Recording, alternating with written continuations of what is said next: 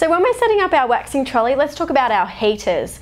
So with the Caronlab range, we do have a one litre heater, a 500 gram heater, and then also another optional addition to your trolley is your cartridge heater. So basically it's really important to have a high quality heater. This is gonna hold the consistency and temperature of your wax. So Again, like I said, one litre or 500 gram doesn't make a difference. They have a very good thermostat control with your temperature dial on the front so that you can adjust them accordingly. You will notice that when you're setting up our heaters out of the box, they come with two separate skirts. You have your wide skirt, this is your hard waxing setup. So simply put your skirt on, then using your metal bucket, and then your wax can go inside. So this is our hard wax and it's the microwave to pot concept, which I will talk about a little bit more in a moment. With your strip wax, you have the skirt with the metal bar and you can again put your strip wax directly inside the metal insert and then the skirt goes on top.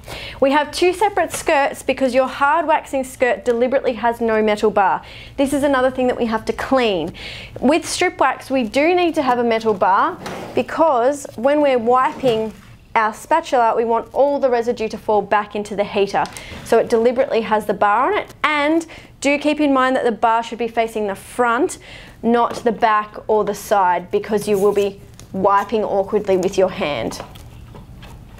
Once you've set up your heaters, adjust the dial. So my recommendation for your hard wax is between three and four on the Caronlab heater and the strip wax would be between four and five with on the Caronlab heater. Now you've also got your roll-on system. So this is very easy to use. You sit your cartridge on top.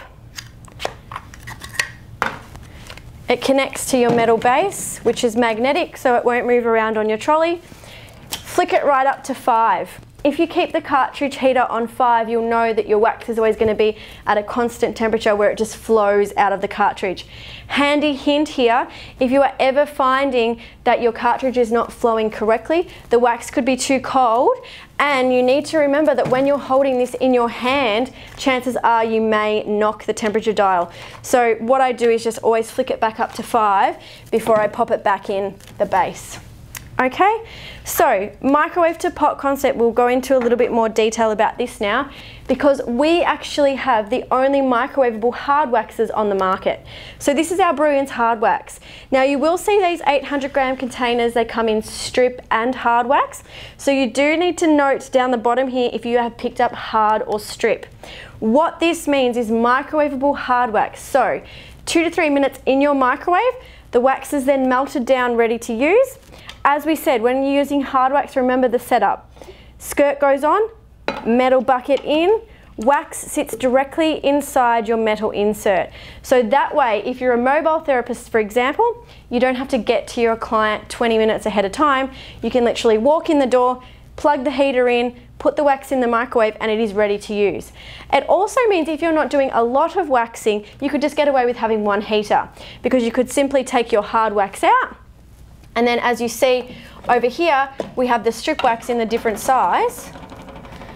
So you can get strip waxes in a microwavable version as well, and you would just swap out depending on what you're using. So you could have hard wax in, when you're finished doing hard wax, take it out and pop the strip wax in. So they do come in both the 800 gram sizes and the 400 gram, as you can see here, so that depending on which pot you buy, you never have to mess up your metal insert. You can just swap and change your waxes with the 800 gram containers.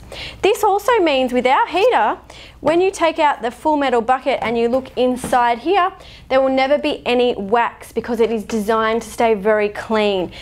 If you have a heater that is quite old and you lift it up and you smell burnt wax on the inside, that is obviously directly touching your thermostat, so it may not be heating as consistent as it possibly could. So it's really important to keep these clean, to invest in a good heater that will hold a constant temperature and have it set up correctly so that it stays extra clean as well. It's also really important to remember to keep your wax pot topped up at all times. So as we just spoke about with the microwave to pot concept, you can you have two options. So you either stick with the microwave to pot concept. So for example, this is our unopened container of hard wax. We've been working in the room all day, so the wax is starting to go down. We now need to top up. So we take a new container, we go to the microwave, we melt it down for two to three minutes till it's nice and runny, and then we pour it into the top keeping it full at all times because this will affect your temperature and consistency. The other option is and this is not an option for a mobile therapist, unfortunately, because once you mix your pellets with your microwavable hard wax, this container will no longer be microwavable. So if this is a setup in a salon that's not going mobile, it's a great idea to just set it up with the plastic container inside there, mainly to just keep things nice and clean. And then at the end of each treatment, grab a pellet from the back and just pop it in the top to top up your heater. That way, if you're constantly doing that, you won't have to worry about moving this dial around. If you're letting your wax go down low, obviously that means the heater is going to get hotter. You have to turn it down. So if you just keep it full, basically at the start of the day, I'll just set it between three and four, and I'll just leave it like that because I'm topping up after each client.